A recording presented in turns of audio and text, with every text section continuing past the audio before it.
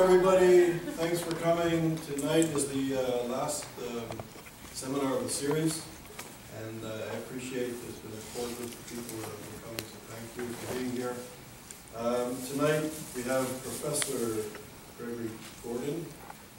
Um, So uh, Greg, uh, Professor Gordon is at the University of North Dakota at the Center for Human Rights and Genocide Studies, and he teaches in the area of criminal and, and international law. He received his BA summa cum laude and uh, Juris Doctorate at the University of California at Berkeley, and then he served as a law clerk for the U.S. District Court Judge Martin Pence. After a stint as a litigator in San Francisco, he worked with the Office of the Prosecutor for International, for the International Criminal Tribunal in Rwanda, where he served as a legal officer, and deputy team leader for the landmark media cases for the first international post-Nuremberg uh, prosecutions of radio and print media uh, executives for incitement crimes, incitement to genocide. For, for this work, Professor Gordon received uh, commendation as, uh, from the Attorney General Janet Reno for service to the United States and for international justice. After his experience at the ICTR, he became a white-collar criminal prosecutor with the U.S. Department of Justice, Tax Division, and was a, um, following a, a detail as a special assistant to U.S. Attorney General for the District of Columbia. He was appointed as the Tax Division's liaison to organized, to the Organized Crime Drug Enforcement Task Force for the Pacific region, for which he helped prosecute large uh, narco traffickers and uh, helped to bust some rings. That's not the Oxford lingo, sorry. Uh, also, during this time, he um, he was also he was also detailed to Sierra Leone to conduct post-Civil War justice assessments for the DOJ's Office of Overseas Prosecutorial Development Assistance and Training.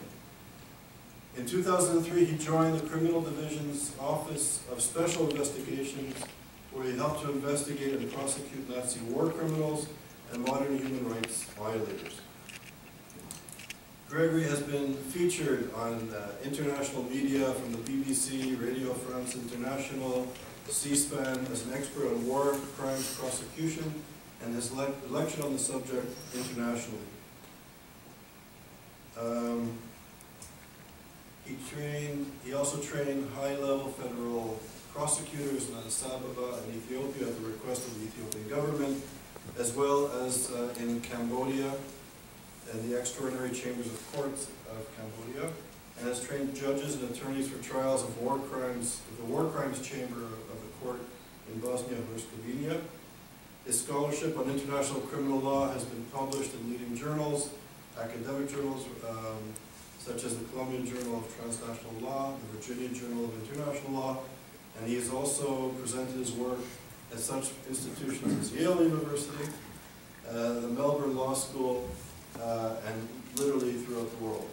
Professor Gordon also co-wrote the U.S. Supreme Court uh, brief of Holocaust and before genocide survivors in the historical human rights case of Yousuf versus Samantar. He also represented the International League for Human Rights at the ICC Review Conference in Kampala where the crimes of aggression was defined as defined and operationalized.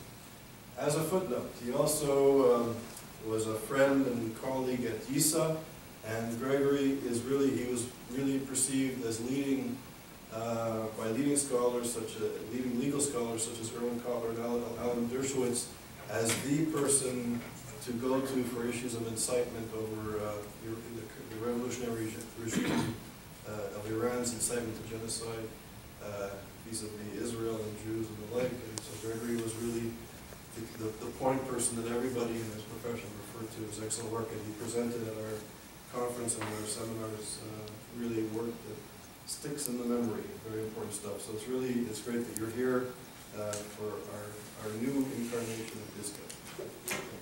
Thanks for coming. It's a nice introduction.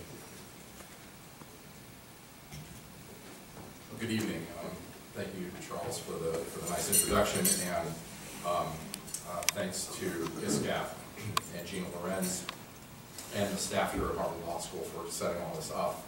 Um, I'm really uh, excited to talk to you about one of the outgrowths of the research that Charles referred to, my work on incitement law, uh, which has gone in different directions. And uh, tonight, I want to talk about one of the directions that it's gone in, which I think has a very important, will have a very important impact on the development of the law of speech and atrocity. So, uh, title of my talk is uh, Forgotten Nuremberg Hate Speech Case, Otto Dietrich and the Future of Persecution Law. Um, I have PowerPoint, which I will uh, be referring to, and um, hopefully it will allow you to follow along. And uh, at the end of my remarks, uh, I'll open it up for questions. Um, And I look forward to uh, hopefully uh, getting some good questions and stimulating some discussion. So um, let's start. And I want to begin with an overview of, of my remarks. Um, I'm going to talk about some preliminary issues. I want to put into perspective what Charles said when he talked about incitement to genocide. Where does that fit into the larger schema of international criminal law? Um, and then I'm going to specifically talk about crimes against humanity uh, persecution, which is going to be a central focus of my talk tonight, and Nuremberg, uh, also a very important focus. Um, then I'm going to talk a little bit about the origins of crimes against humanity. Uh, there's a lot of talk about incitement to genocide. What about crimes against humanity? Another important core crime. We'll explore the origins. Then I'm going to talk about the International Military Tribunal at Nuremberg propaganda cases, uh, and I'll look at the Julius Streicher and Hans Fritzsche cases um, in particular. And then I'll look at the Otto Dietrich case, which was among the subsequent Nuremberg trials uh, after, the, after the International Military Tribunal. And then I'll turn to modern cases and talk about how the law has developed since Nuremberg. And I'll talk about a split regarding the crime of persecution between the two ad hoc tribunals, the International Criminal Tribunal for Rwanda International, and the International Criminal Tribunal for the former Yugoslavia, the ICTR and ICTY. And then I'll, sit, I'll situate the Dietrich case again within that split, and, and we can understand why it's so important when we talk about the split. Um, and then we can talk about what Dietrich might mean if we consider its holding going forward and how it might uh, affect the way the split has occurred. Okay, so let's, let's begin with what I promised would be an overview of the core crimes of international criminal law. There are three core crimes that involve gross human rights violations against civilians. War crimes, genocide, and crimes against humanity. I'm speaking generally here, but war crimes involve offenses committed by military personnel. Um, I'm not going to talk about those uh, in any depth tonight. Uh, genocide involves uh, an intent to destroy an entire group because of that group's characteristics, whether they be national, ethnic, racial, religious, etc., uh, through certain acts, uh, including uh, murder, uh, which is the one we most associate with it. And then crimes against humanity, which is going to be the main focus tonight, which involve a series of crimes, murder, rape, torture, deportation, persecution, among others, committed as part of a widespread or systematic attack against a civilian population. Okay, so we've got our core crimes down. Um, let me talk about how speech fits into those crimes, okay? Because a, a big part of my scholarship and, and the focus tonight is going to be the intersection between speech and atrocity. The law of war, when I talk about war crimes, currently has no speech crimes per se that provide for liability for the speech itself. Um, there are some indirect ways that perhaps speech is implicated, um, and I have a paper that was published last year where I propose a new crime of incitement to war crimes. That's beyond the scope of tonight's talk, but I just want to mention it so that you can understand where war crimes fits in. The one that you hear the most about, and in fact that I think in a way is talked about almost too loosely, and that everyone thinks has to be the crime that all speech-related crimes are shoehorned into is incitement to commit genocide. Now, incitement to commit genocide is an inchoate crime. What does that mean? Well, uh, it means that the crime is complete before uh, the commission, if you will, of the target crime. So it's a, if you will, it's a pre-crime. Attempt is an inchoate crime. conspiracy is an inchoate crime.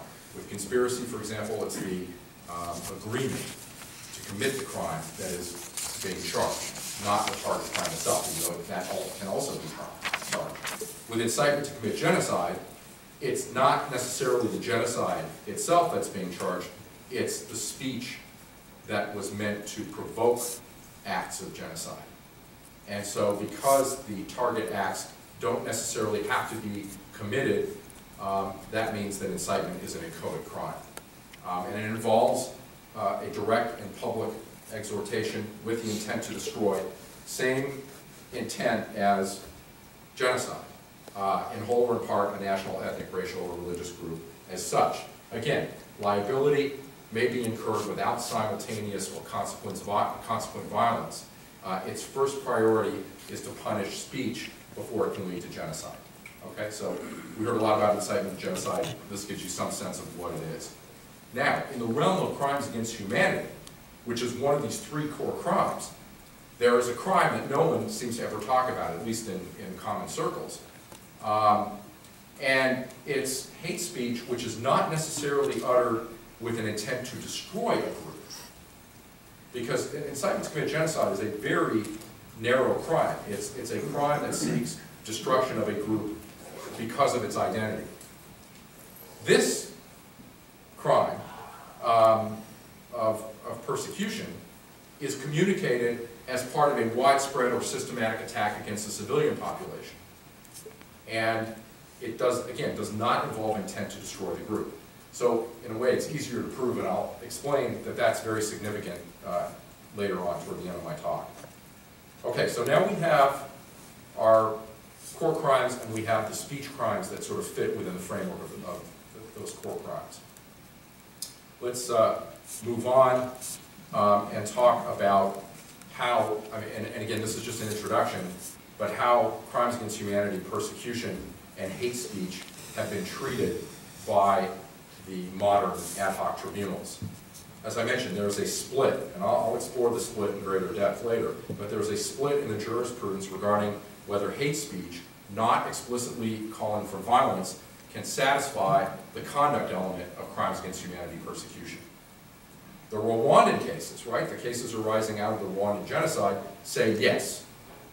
Why the speech itself deprives victim group members of fundamental rights, it excludes, it excludes them from society, both socially and ultimately physically, and therefore it doesn't matter whether the speech calls for violence, hate speech, in the context of crimes against humanity, can constitute persecution.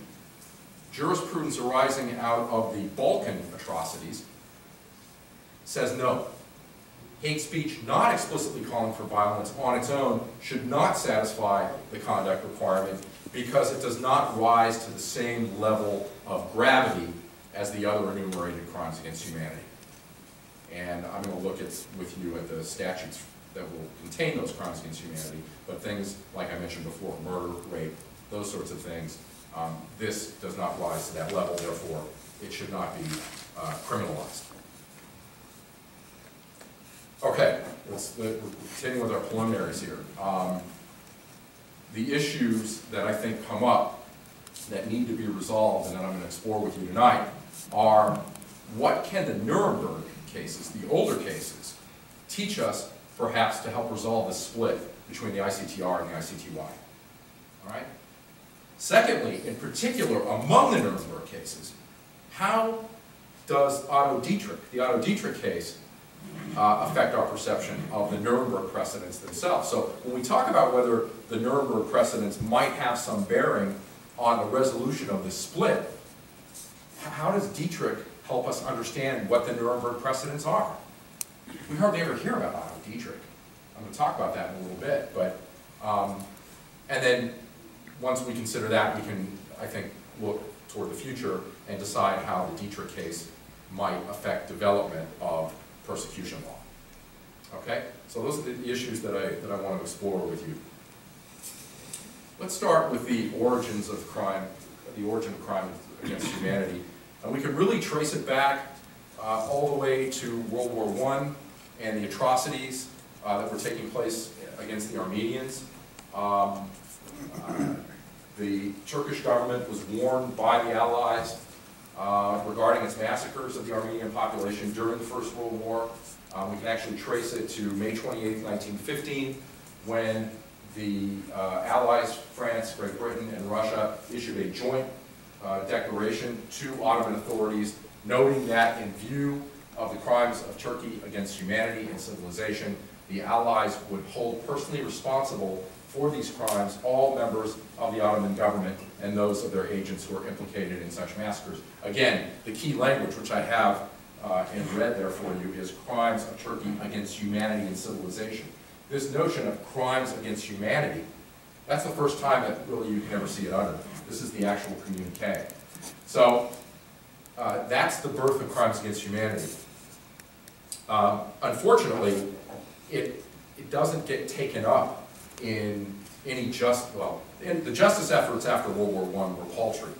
Um, But what little there was did not involve crimes against humanity. So it was just sort of, if you will, shelved. It was uttered for the first time and then sort of left alone.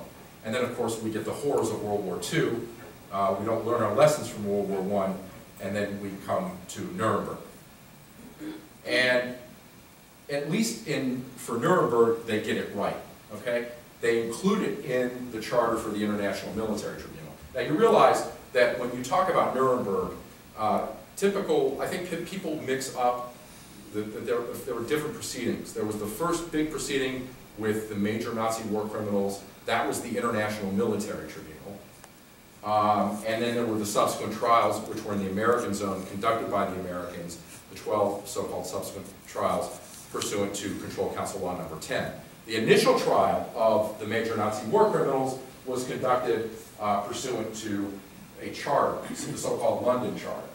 And in the London Charter was included crimes against humanity.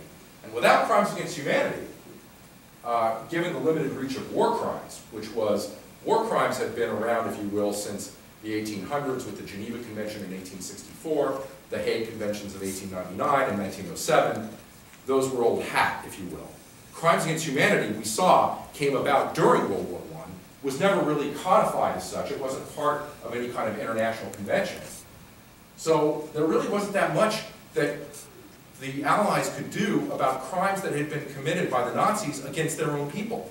War crimes tended to apply to soldiers of another country or civilians uh, in occupied areas, but not in a domestic context, not the Nazis vis-a-vis their own people. And so crimes against humanity allowed the Allies to prosecute the Nazis for those crimes, as well as for crimes against civilians from other countries. And it was included in Article 6C of the London Charter, or Nuremberg Charter, which I'll, I'll refer to. Um, let's look at Article 6C. Um, murder, extermination, enslavement, deportation, and other inhumane acts committed against any civilian population before or during the war, or persecution on political, racial, or religious grounds in execution of or in connection with any crime within the jurisdiction of the tribunal, whether or not in violation of the law of the country where perpetrated. And of course, you know, this, this language, uh, whether or not in violation of the law of the country where perpetrated is key in the sense that that's what permits the Allies to prosecute German crimes against their own people. And then the other thing that we can see, which I think is also very important, is you see that there's sort of this first cluster of language, right, which if you will, we can refer to as inhumane acts. And then there's this second cluster, which we can refer to as persecution. So it sort of divides. Persecution on political, racial, or religious grounds. And they're sort of seen as two separate, um, two categories of crime, inhumane acts and persecution on certain discriminatory grounds. And as I said, there were two primary propaganda cases um, before the International Military Tribunal, uh, those of Uli Streicher and Hans Fritzsche. I'm going to talk about them now uh, in, in, a little bit more depth. Streicher, uh, just to give you a little more background than I think you usually see, he was born uh, on February 12, 1885 in the upper Bavarian village of Fleinhausen. Uh, he began his career as a teacher uh, and then enlisted in the German army during World War I. Kind of scary thought of having this guy in the classroom with kids, but this is what he did. Um, and he, he joined uh, the German army and became a soldier. After World War I, he became the leader of the German Socialist Party and was initially a, a rival of Adolf Hitler, but given their ideological affinities, uh, they joined forces and Streicher became a loyal Hitler lieutenant. And he soon amassed a lot of power, uh, becoming in rapid succession uh, a general in the SS Stormtroopers, the Gauleiter or district leader of Franconia, and a member of the Reichstag. Of course, he's best known for Der Stürmer. In fact, that's the thing that he was really prosecuted for uh, at Nuremberg. And this is a, I- I'll call it a rag, a Nazi rag that he founded on his own uh, in 1920. Um, At its peak, it had about 600,000 subscribers, but it was posted throughout Germany in sort of kiosks like that. And so anybody could come up and read it. So it probably had a bigger impact than just 600,000 people who subscribed. Um, It was a crude newspaper uh, that had for its intention to degrade, dehumanize, vilify Jews. Um, You can see at the bottom of every, of the front of every issue, it said, Die Juden sind unser Unglück, the Jews are our misfortune.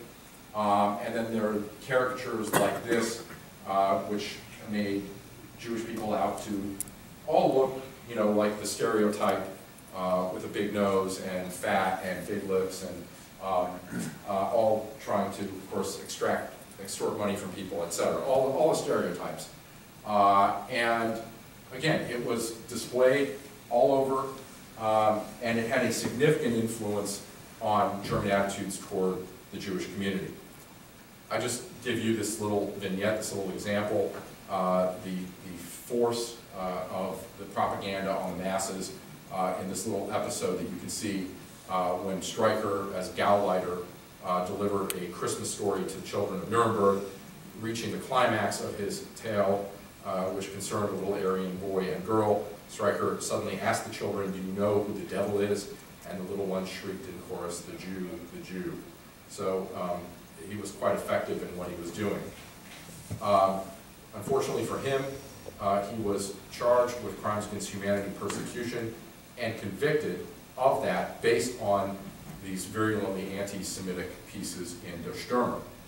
Now, the IMT judgment against Streicher starts with an observation regarding his anti-Semitic rhetoric and reputation, and I quote, for his 25 years of speaking, writing, and preaching hatred of the Jews, Streicher was widely known as Jew baiter number one. Um, it wrote that, quote, in his speeches and articles, week after week, month after month, he infected the German mind with the virus of anti-Semitism and incited the German people to active persecution. Now, this portion of the judgment gives the impression that the conviction is based on hate speech, not explicitly calling for action. If you look at the text here, it doesn't talk about him asking the German people to exterminate the Jews or inflict violence on them. It merely says that uh, he infected the German mind with a virus of anti-Semitism um, and incited the German people to persecution. Now, persecution could include violence, but not necessarily. That's a broader term, right? Um, let's continue. The judgment further specified that Streicher wrote a good portion of these genocidal texts contemporaneous with Jews being liquidated in Eastern Europe. And Streicher, the, the tribunal concluded, knew about Nazi atrocities to the east when he published these articles. So the judgment concludes, and I quote, Streicher's incitement to murder and extermination at the time when Jews in the East were being killed under the most horrible conditions clearly constitutes persecution on political and racial grounds in connection with war crimes as defined by the Charter and constitutes a crime against humanity. So now, on the other hand, this portion of the judgment gives the impression that the persecution conviction is based on speech directly calling for violence. So there's a little bit of discord, I would say, in terms of the language of the judgment. And that's important, and I'll explain why later. Hans Fritzsche, let's talk about him for a moment. Um, after serving as a private in the German infantry in World War I, uh, Fritzsche became a journalist, first working as a newspaper correspondent and editor, and then in radio. Um, and he worked his way up to becoming head of the German wireless news service in 1932. In May 1933, he joined the staff of the Nazi propaganda ministry, and by 1938 had risen to the level of chief of the German press division. Um, in this capacity, he issued Nazi propaganda press directives, um, also known as Tagesparola, uh, that were issued to newspaper editors on a daily basis. And, know, these were, there were press conferences at which he would, he would issue these, um, and he would tell the editors what to publish. And it was typical Nazi themes, the leadership principle, uh, the Jewish problem, the problem of living space. Now keep this in mind, because when, i when I talk about Otto Dietrich, this is an important link, all right? And, and, and, and this, is, this is a key way that the Nazis controlled uh, the, the media in, in Germany. Uh, in 42, Fritzsche moved on uh, and became head of the radio division of the propaganda ministry and hosted a daily radio program called Hans Fritzsche Speaks. Now, uh, he as well was charged with crimes against humanity persecution, and the radio broadcasts were the basis of the crimes against humanity charges against him. Uh, the evidence presented against him at trial demonstrated that these radio emissions espoused the general principles, or the general policies of the Nazi regime, which, quote, aroused in the German people those passions which led them to the commission of atrocities. Um, but the tribunal did not find Fritzsche guilty because it concluded his uh, rants against the Jews did not directly urge their persecution and, quote, his position and official duties were not sufficiently important to infer that he took part in originating or formulating propaganda campaigns. Now, I think that this is a horrible decision um, on many levels. Um, but I will point out that Fritzsche later faced justice before a German Spruchkammer, or a denazification court, and was sentenced to 88 years, which was the maximum punishment that such courts could mete out. I would also point out that his involvement in issuing the Tagesparola, the daily directives, was not discovered until after the trial. And had it been known, or had the Allies had their hands on those, um, he probably would have been convicted. Um, the other thing is that he was one of two people that the Soviets had who they thought were big war criminals. And so there was a, a political aspect to his being in the dock in the big trial. He really was not sufficient stature compared to the other defendants, and that helped him. Uh, but it was due to Cold War politics that he was put in the dock because the Soviets wanted to show that they were significant players, even though they only had two, the defendants.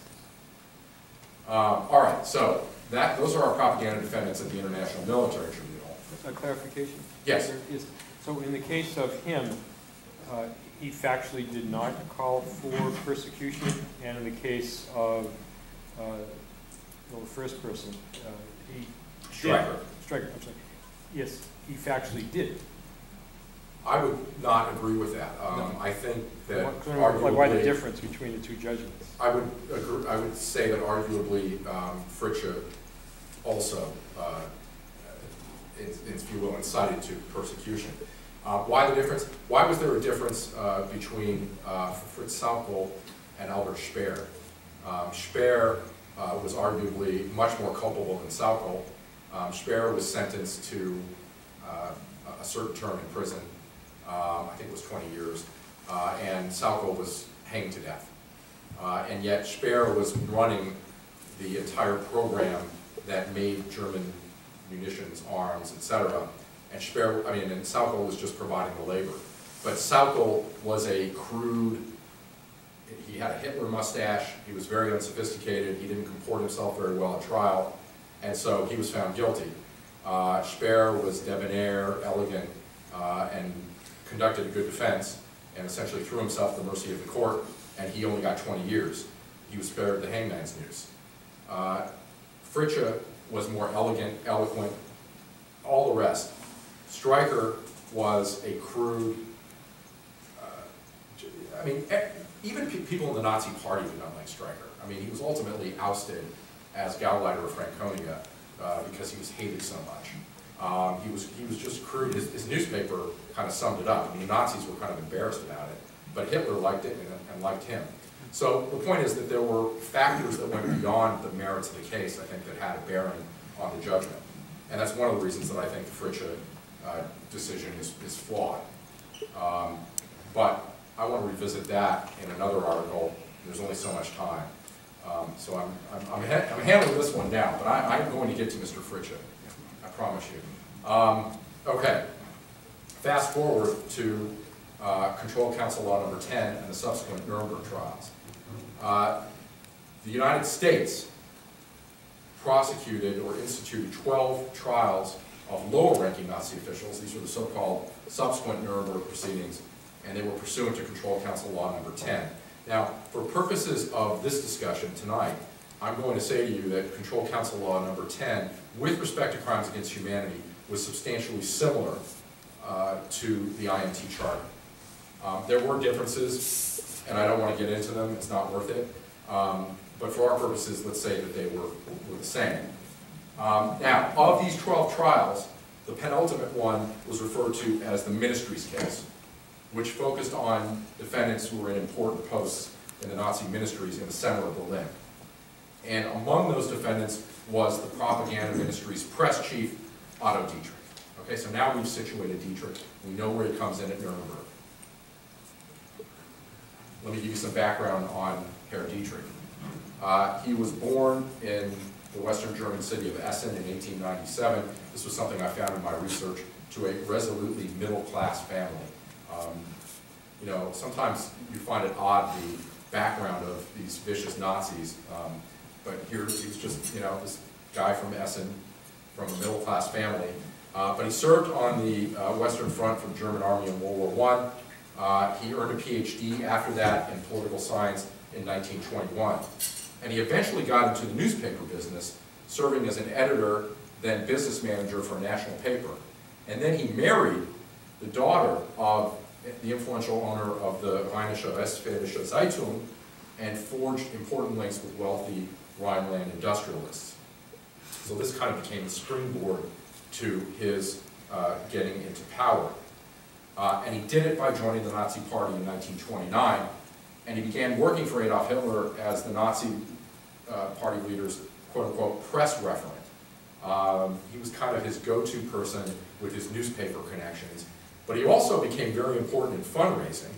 Uh, he introduced Hitler to all these powerful uh, Westphalian coal and iron magnates from which the Nazi party was able to get a lot of money, and that way he was able to forge a very close relationship with the would one day Fuhrer.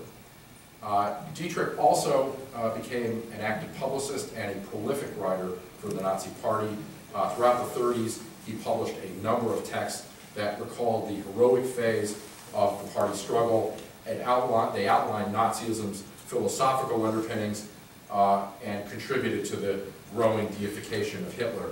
Uh, he actually handled, uh, during one of the elections, Hitler's barnstorming tour across Germany in, a, in an airplane, uh, and that got him also closer to Hitler. And Hitler felt that he could work with the press quite well, but he was busy, excuse me, busy publishing all these uh, all these works. Um, uh, this is just a sampling.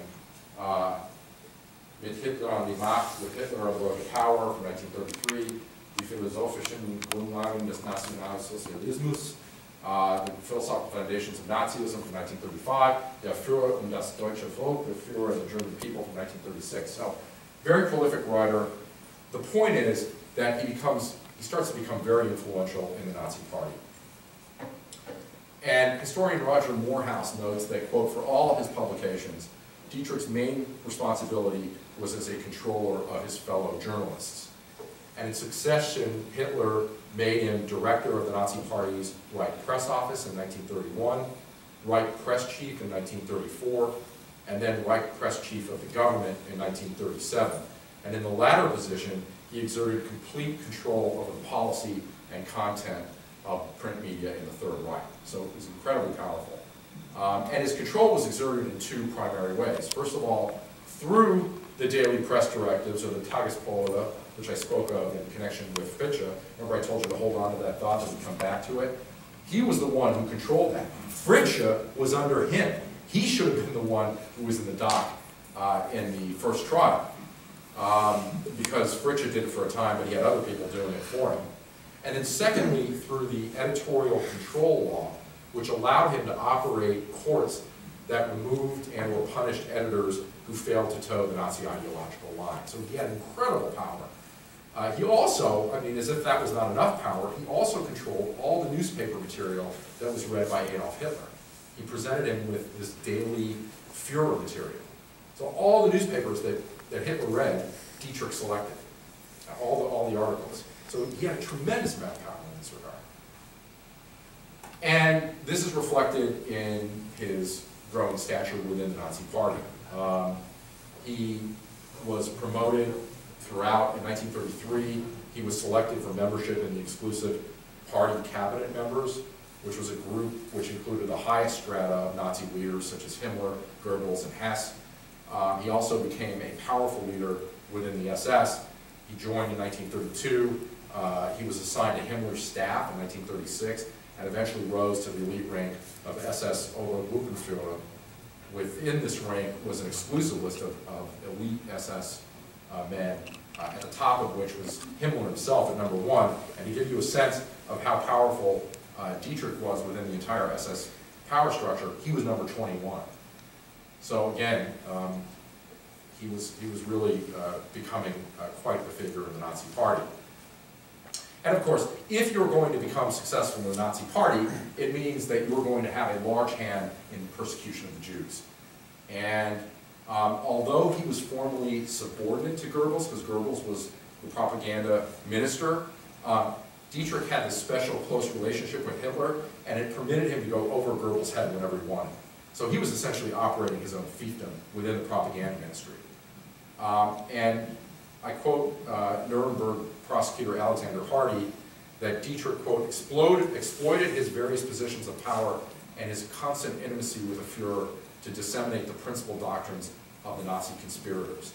And Hardy goes on to specify Dietrich's significant role in the conditioning of the German people for persecution of the Jews.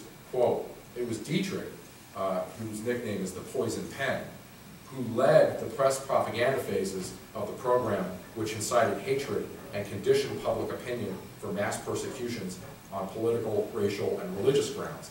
Heretofore, Dietrich's role has been ignored by historians, but actually he, more than anyone else, was responsible for presenting to the German people the justification for liquidating the Jews.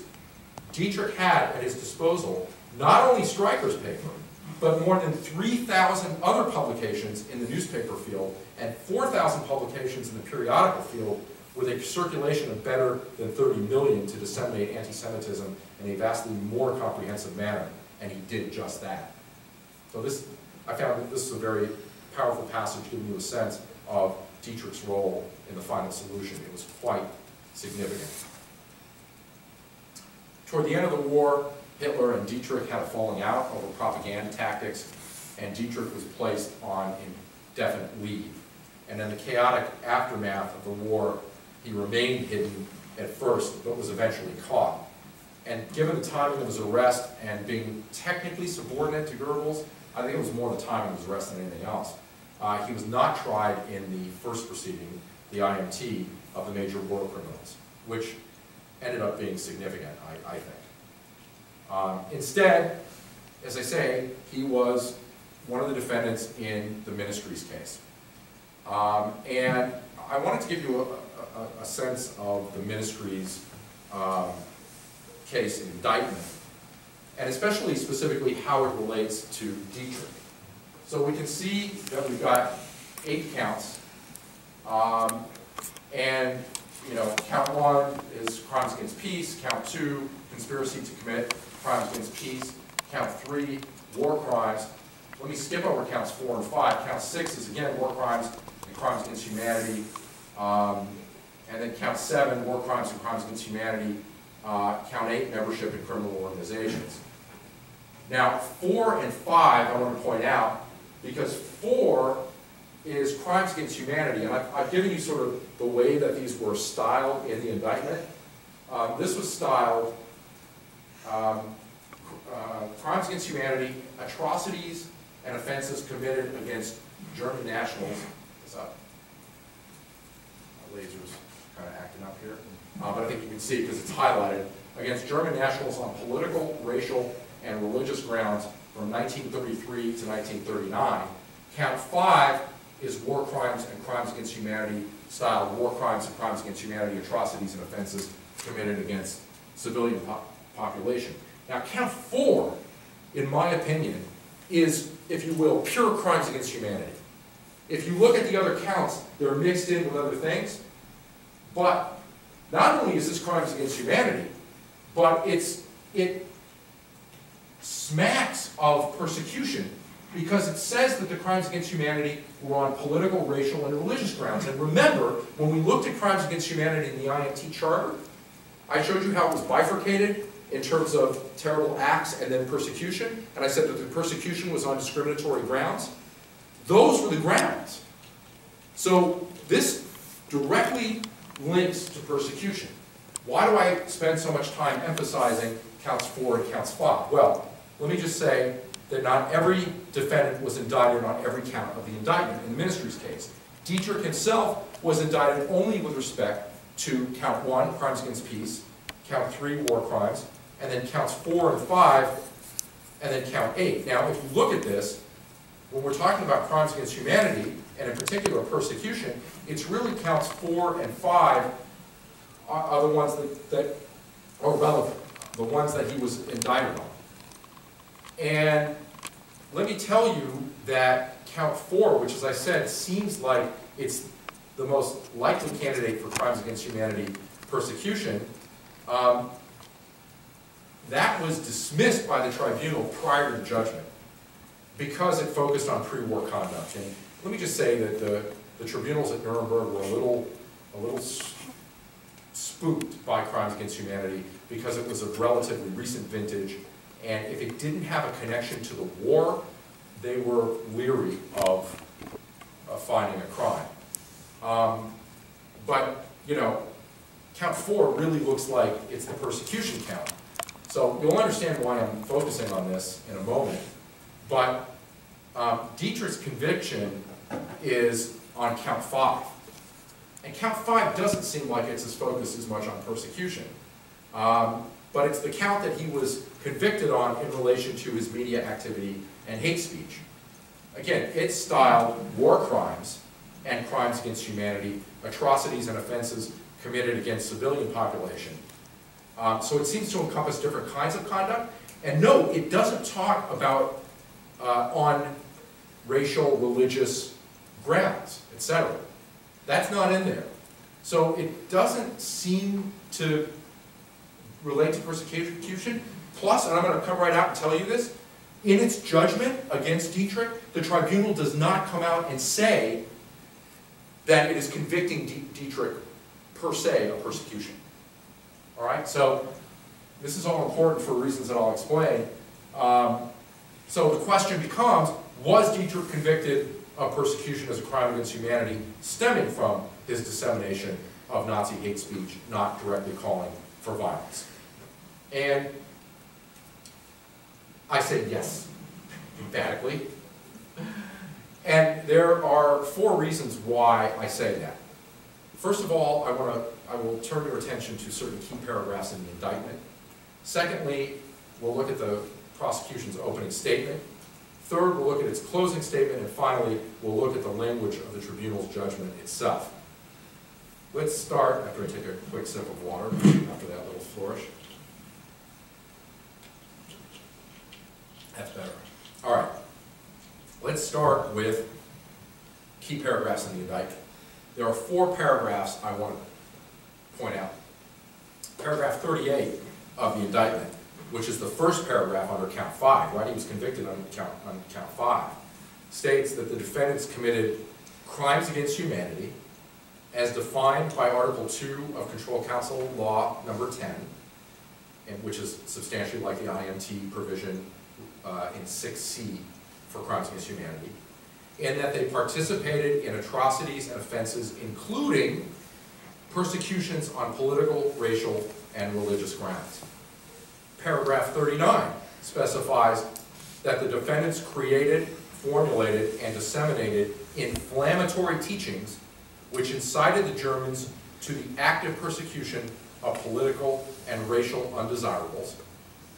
Paragraph 46 focuses this specifically on Dietrich's hate speech, noting that in relation to the program to exterminate the Jews, Dietrich and the specified, the other specified defendants, quote, presented to the German people the rationale and justification for and the impetus to mass slaughter. Paragraph 48 goes on to declare that in execution of this program, the defendant Dietrich conditioned public opinion to accept this program. This comes directly from the indictment. Let's look for a moment at the prosecution's opening statement. The prosecution's opening statement makes this point explicitly, and I quote, "The war crimes and crimes against humanity charged in the indictment fall into three broad categories. First, there are war crimes committed in the actual course of hostilities or against members of the armed forces of countries at war with Germany. These are set forth in count three of the indictment. Second, there are crimes committed chiefly against civilians in the course of and as part of the German occupation of countries overrun by the Wehrmacht. These include various crimes set forth in count five of the indictment, the charges of plunder and spoliation in count six, and the charges pertaining to slave labor in count seven. Many of the crimes in the second category constitute, at one and the same time, war crimes as defined in paragraph 1B and crimes against humanity as defined in paragraph 1C of Article 2 of Law Number 10. Third, and you see that I have this in italics, there are crimes committed against civilian populations in the course of persecution on political, racial, and religious grounds. Such crimes, when committed prior to the actual initiation of Germany's invasion and aggressive wars, are set forth in count four of the indictment, which you know was dismissed. When committed thereafter, i.e. once the war started, they are charged in count five. So this is telling us that count four and count five are essentially the same with respect to crimes against humanity, except that count five is post-war, count four is pre-war. Or I should say count, I should say count five is post-initiation of the war. Sorry for that confusion. Um, and I, I finish with the crimes described in count four accordingly are charged only as crimes against humanity. Those charged in count five, for the most part, constitute at one and the same time war crimes and crimes against humanity.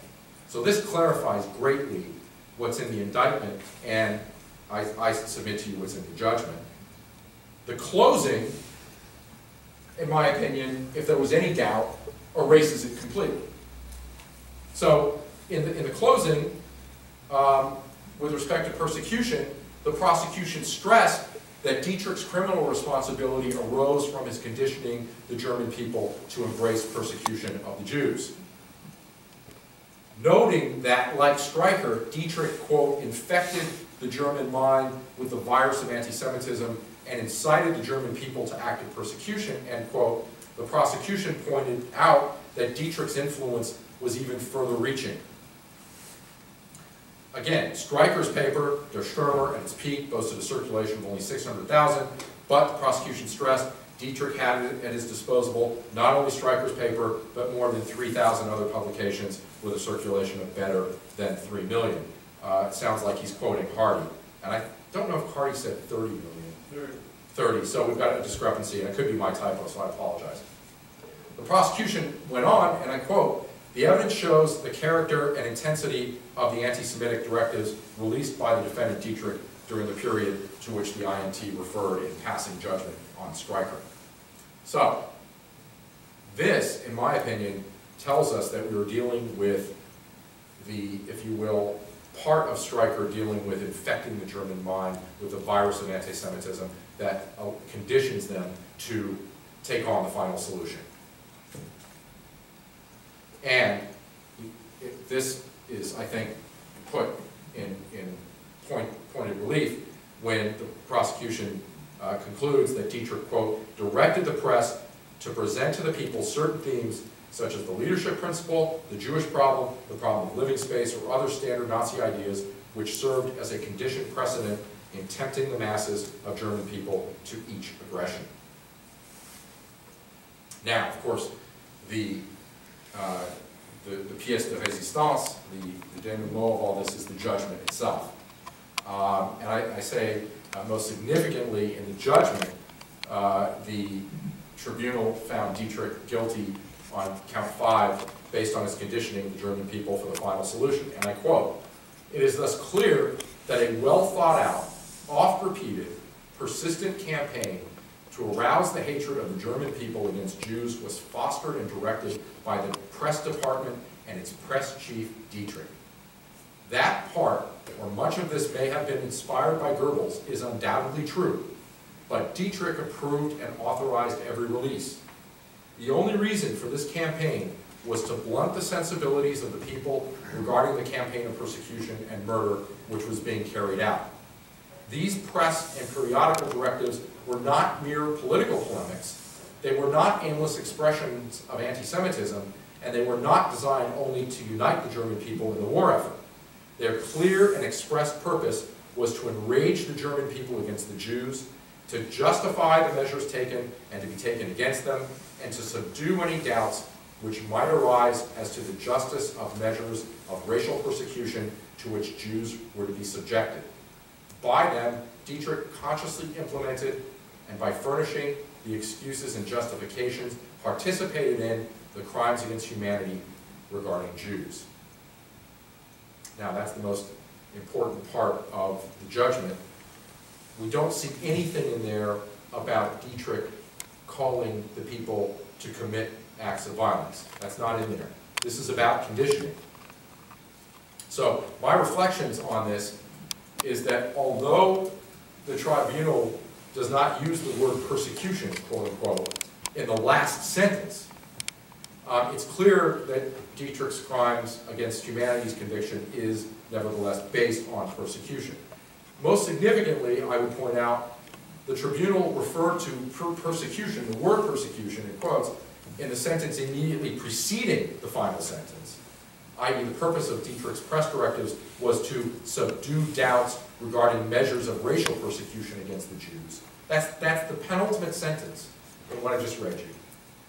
Similarly, two sentences previously, the tribunal opined that the only reason for Dietrich's campaign was to blunt the sensibilities of the people regarding the campaign of persecution. Again, the word persecution comes in prominently.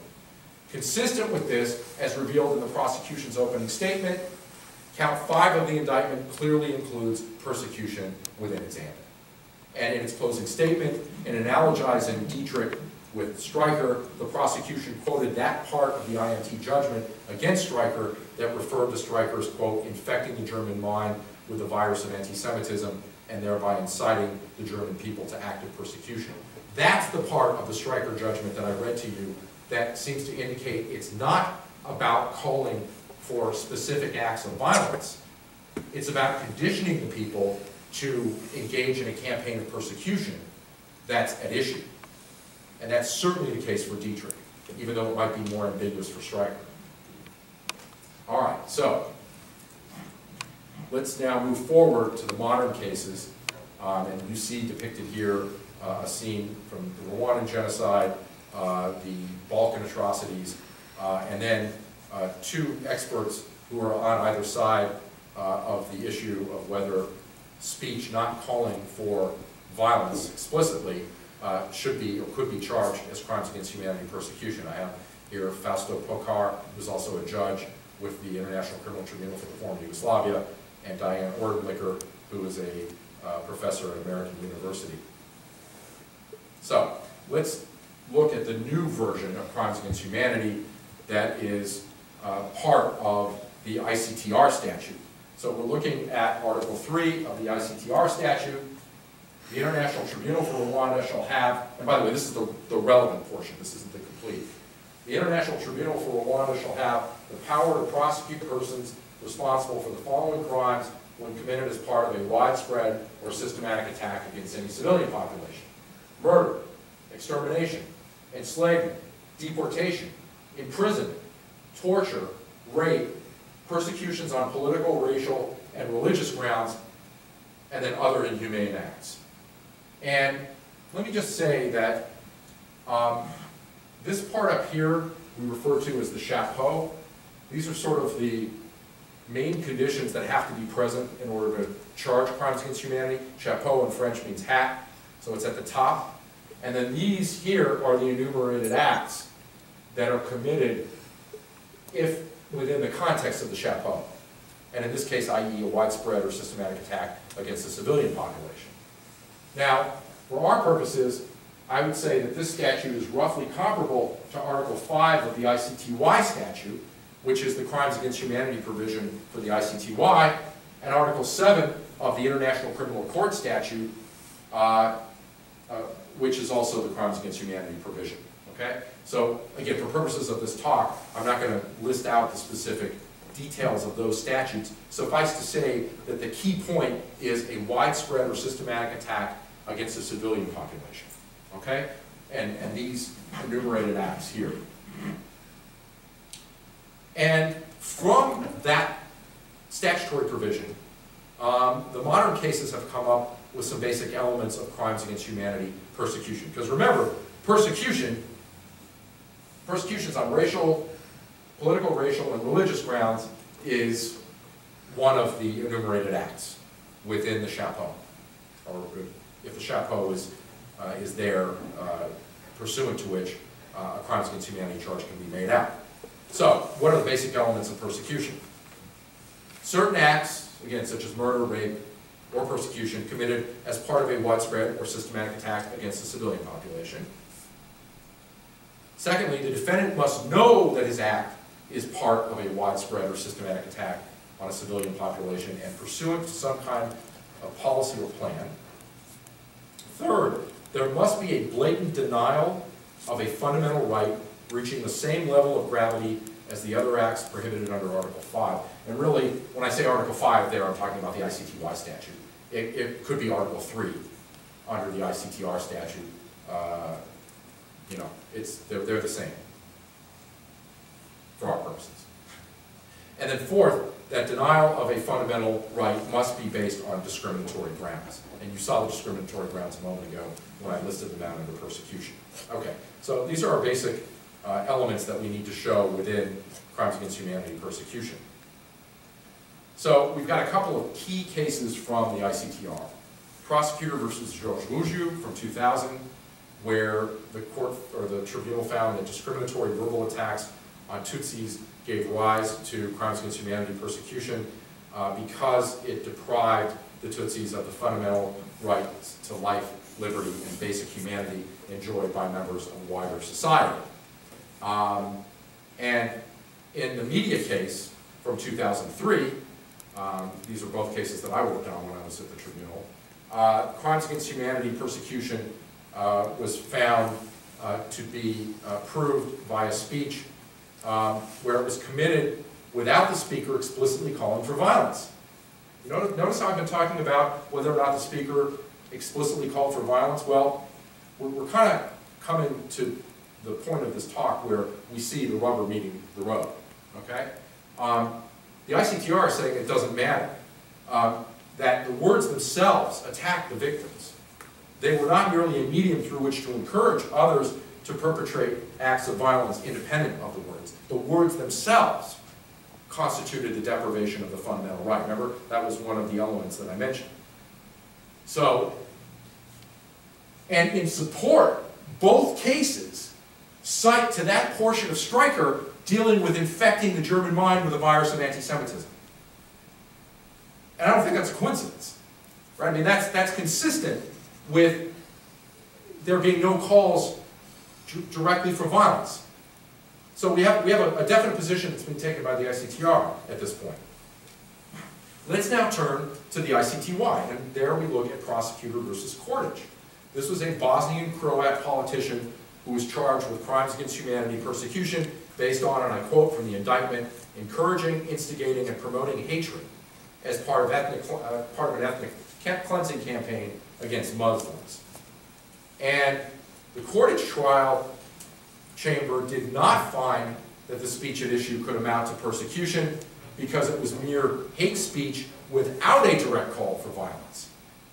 And as a result, it, it was not equal in gravity to the other crimes against humanity acts. Remember one of the elements, one of the four elements that I pointed out, is that it be equal in gravity. I said Article 5, and this is exactly on point because that was from the ICTY statute. They're saying because it's not calling for violence, it's not equal in gravity to the other enumerated acts, i.e. rape, murder, etc. Um, and the trial chamber, interestingly, cited Streicher and observed, quote, the International Military Tribunal convicted the accused of persecution because he incited the German people to act of persecution which amounted to incitement to murder and extermination.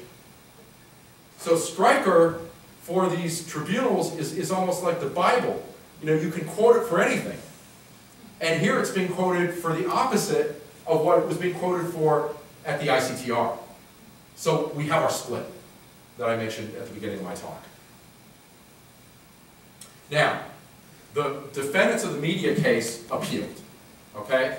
And they relied on the ICTY trial chamber's judgment in Kordić to argue that mere hate speech could not be the basis of crimes against humanity persecution conviction. And this argument was bolstered by an amicus brief. Did you all know what an amicus brief is? A, a brief amicus curiae, a friend of the court? Um, that was filed by the Open Society Institute. This is George Soros' organization, um, an American NGO. And I, I stress American.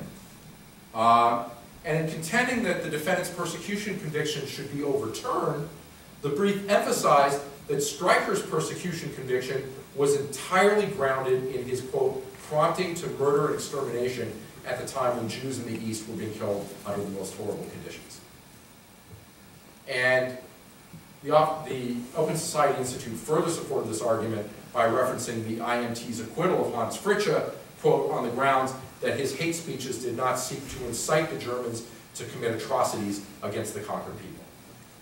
Again, Fritzsche is being used for the purposes that suit the lawyers in this particular case.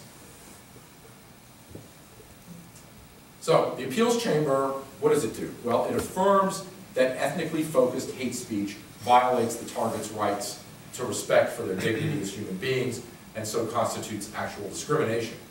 It also held that speech inciting to violence against a population on the basis of ethnicity violates the victim's rights to security and thus constitutes actual discrimination.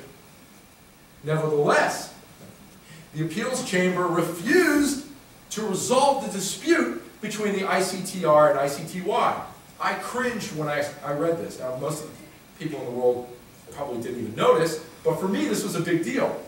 I was looking for the appeals chamber, to be honest with you, I, I thought the ICTR had the better of the argument. I, am coming out and telling you what my position is. Maybe you're not surprised to hear that.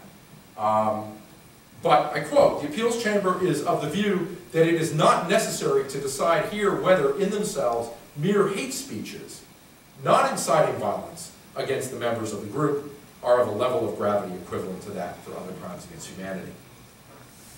They punted. Very frustrating. But that's, that's where we stand, okay? And, and now you could, like we're sort of getting up to this drum roll to understand the significance of Dietrich. Because all we've heard about in these decisions is Streicher and Fritzsche. There's been not one mention of Dietrich. Not one. Why? I don't think I understand. But I think it's, it's, it's really significant. So let's, let's sort of tease it out. And let's just emphasize that there were two partial dissents that were appended to the majority judgment. One uh, by Judge Shahabuddeen rejecting the Kordić approach and finding that hate speech not directly calling for violence is of equal gravity to the other enumerated crimes because always being part of a larger persecutory campaign, it has a cumulative effect impairing the quality of life and liberty. And then he goes on and he makes sure that he lets the world know that he does not think that Fritzsche stands for the proposition that the Open Society Institute cited it for. Even though the IMT happened to observe that Fritzsche did not evidently aim, quote, to incite the German people to commit atrocities on conquered people, This does not evidence an intention to make advocacy to genocide or extermination an essential element. So he is distinguishing Fritzsche from this interpretation, or he is excluding it from this interpretation that OSI put on it. Now, on the other hand, we have an opinion, a partially dissenting opinion that is appended uh, by Judge Meron, um, and he echoes the arguments of the OSI amicus brief that cited Streicher. He doesn't actually specifically cite Streicher himself, but sort of echoes the arguments that are made in that brief that does. Um, and he approves Kordić and says that only hate speech inciting violence can be criminalized, and this is in line, he says, with American values that cherish the benefit of protecting political dissent. So we see a definite American view. Uh, Americans, let's face it, are the most speech protective people in the world. Um, our First Amendment is incredibly speech protective, and I think Judge Meron's opinion reflects that, um, as does the uh, amicus brief of the Open Society Institute. And sort of this rift that you see between the ICTR and the ICTY, and between the judges themselves uh, at the appeals level, is reflected in, in academic circles as well. And I, maybe this is, you know, kind of a tempest in a teapot uh, to a lot of people. And I can't say that this is like all the rage in uh, the scholarly world, but maybe this talk will begin something. Um, and I also have an article that I just published, um, or it's about to be published, in the Vanderbilt Journal of Transnational Law called Hate Speech and Persecution, a Contextual Approach, where I take on Professor Diana Orentlicher, um, although in that article I cite her in a footnote. Um, for the paper that I'm running for this, I, she's above the line. So we're going we're gonna be uh, going mano a mano here, uh, Professor Orentlicher and I. And I, I think the world of you, Professor Orentlicher, if you see this. Um, you're a great scholar. But I just happen to disagree with you. And, you know, I'm going to quote you now. Uh, this is from your article from 2005, Criminalizing Hate Speech in the Crucible of Trial, Prosecutor versus Nahimana. Quote, yet it is difficult to see how the Streicher verdict could support a conclusion to the effect that communications that constitute persecution need not include a call to action, let alone a call to violence. Although the IMT did not clearly enunciate the elements of persecution as a crime against humanity, its conviction of Streicher and acquittal of Fritzsche strongly suggest that the tribunal was prepared to judge a defendant guilty of persecution as a crime against humanity based upon his expressive activity only when he intentionally urged listeners to commit atrocities. End quote. And then there's my article that I just referred to a moment ago that's about to be published. So let's bring it on. Uh, the ICTR's interpretation of Streicher can be supported. In other words, that the defendant was convicted of crimes against humanity, persecution, first of all, for anti-Semitic writings that significantly predated the extermination of Jews in the 1940s, and secondly, based at least in substantial part on Streicher's injecting a poison into the minds of the Germans, which caused them to follow the National Socialist policy of Jewish persecution. Similarly, with regard to Fritzsche, uh, language in the judgment also permits the inference that speech not calling for violence could constitute persecution. Okay, so the battle lines are drawn. All right? So, here we are now. The importance of Otto Dietrich.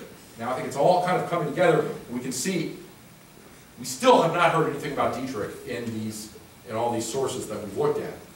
And so I think the future of persecution laws doctrinally and procedurally may be affected by uh, Dietrich, and then perhaps the application to specific cases.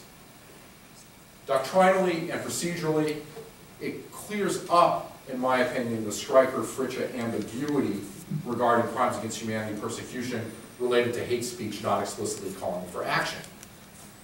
I read to you the relevant portions of the judgment. We looked at the indictment. We looked at the opening and closing arguments. We are dealing with crimes against humanity persecution there and no calls, no explicit calls for violence. So I, I say that this has two effects. One, on crimes against humanity persecution and its development, and secondly, for moving beyond the strict confines of uh, incitement to commit genocide. I, sorry that I don't have the text on that there, but um,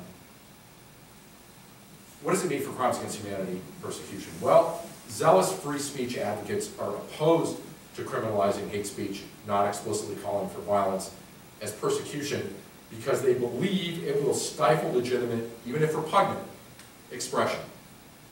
However, in accord with modern jurisprudence, let me point out to you that speech may be prosecuted as a crime against humanity persecution only if it is uttered as part of a widespread or systematic attack against a civilian population. The speech has got to be uttered as part of that. And remember, when we looked at the elements, the defendant has to know that the speech is part of that. This is not the kind of free expression that we value, that we cherish here in this country. Empirically, these are government attacks. These are government-led attacks where the channels of communication are monopolized by the state and dissenting voices cannot be heard. In fact, at the International Criminal Court, this has to be pursuant to an organizational policy. And empirically, as I say, it's going most likely to be a state. United States First Amendment jurisprudence is premised on the notion of the marketplace of ideas. If the marketplace of ideas is functioning properly, then no matter how repulsive an idea might be, in the marketplace it can be countered by another idea. I submit to you, and, and, and the premise of this then is that the truth will out, that the population will appreciate what the real story is, um, and that the population thereby will be more engaged. This will promote democracy. It will increase on an individual level self-actualization. And I believe all that. I actually have drunk American First Amendment Kool-Aid. And I think all that stuff is true. But it's not true when the marketplace of ideas is not functioning properly. It's just not. When you have a government that monopolizes the channels of communication and that is using speech as a bludgeon to further a campaign of persecution, you shouldn't be worried about whether or not you're curbing free expression. You don't have a situation that implicates it. So, I'd say that with Dietrich, we can look at the fact that there's precedent for saying that crimes against humanity persecution can be about speech not explicitly calling for violence, because even if the speech is not explicitly calling for violence, the speech is being uttered as part of a widespread or systematic attack against the civilian population. That's good enough for us not to be concerned about the First Amendment. I also think that there are implications for the crime of incitement to genocide, for moving beyond strict confines of incitement to genocide. Even were such speech prosecuted as incitement to genocide, as opposed to crimes against humanity persecution, it still might end up going unpunished. Genocide has a dual intent. Um, I should say incitement to commit genocide has a dual intent. First of all, to provoke another to commit genocide, and secondly, to commit the underlying genocide itself. And that means the intent to destroy in whole or in part a national, ethnic, racial, or religious group as such, and that intent is notoriously difficult to prove with that narrow focus on specifically seeking destruction, it's really hard to prove. Now, on the other hand, the mens rea for crimes against humanity persecution requires demonstrating mere knowledge of the widespread or systematic attack. Knowledge is not as difficult to prove as intent. And secondly, a discriminatory intent. But not an intent to destroy, in whole or in part, a group. So there's no question that this mental element is easier to prove for prosecutors than genocidal intent. Um, and so this could make prosecution of truly legitimate atrocity speech much more feasible. And then I'll conclude with specific cases where we could imagine that this could be applicable today. Um, and I'm not going to go through all the elements and um, and talk to you the, about the details of these cases, but just to give you a sense of why this might be applicable. Um, as we speak right now, there is violence being perpetrated against Muslims by the majority Buddhist community in Burma or Myanmar, uh, based on speech that, in my paper I point out, does not explicitly call for violence. And yet there have been massacres of Muslims and massive displacements of them um, and that potentially could not be prosecuted uh, if we have a regime wherein crimes against humanity, persecution cannot be charged because there are no explicit calls for violence. Uh, with respect to uh, Iranian hate speech against Israelis, which Charles talked about uh, being sort of one of my areas of expertise, um, let's face it, uh, a lot of that has focused on Mahmoud Ahmadinejad. Mahmoud Ahmadinejad is not going to be president of Iran for very much longer. There's no, there are going to be elections in June. He'll be out. In the meantime, there are plenty of other Iranian leaders who are engaging in this kind of hate speech toward Israelis, dehumanizing them, you know, calling them cancers and equating them to animals and all kinds of terrible things. Not necessarily explicitly calling for violence. Now, why does it apply if we're talking about a widespread or systematic attack against the civilian population? Well, if we can show, and I think there's ample grounds for believing, that there's a connection, for example, between the rocket attacks that Hamas is engaging in against Israel, and which I would argue constitutes a widespread or systematic attack against the civilian population. We know that Israeli civilians have been murdered as a result of these rocket attacks, and there's been all kinds of other damage and displacement as a result of them. Um, and we can show, what I submit to you would have to be a very strong link between the Iranians and those attacks and the Iranian speech, both chronologically and, if you will, logistically, um, then perhaps a persecution charge, if we could get into a court, and that's a whole other story. Uh, as I've pointed out in my scholarship elsewhere, it's not likely, given the current geopolitical environment, that the Iranians, uh, their leaders would be brought, say, before the International Criminal Court. It would have to be via Security Council resolution, and I think with China and, uh, the, and the Russians there, that's, that's, that's just not likely. Um, but it's worth at least talking about and understanding that having another arrow in the quiver uh, for legally dealing with these horrible incidents of hate speech is a good thing. Um, other cases that we can, we can think of, the post-election violence in Kenya, uh, for which uh, trials are due to occur at some point uh, this year. Joshua Arap Sang has been uh, charged with crimes against humanity, uh, but I don't believe he's been charged. He was a radio announcer who uh, engaged in all kinds of inflammatory speech in the aftermath of the 2007 election in Kenya. Uh, but maybe because of this ambiguity regarding uh, crimes against humanity persecution and whether there needs to be a direct call for violence, he hasn't been charged with that. Uh, similarly, in Cote d'Ivoire, uh, President Laurent Gbagbo has been charged with crimes against humanity persecution.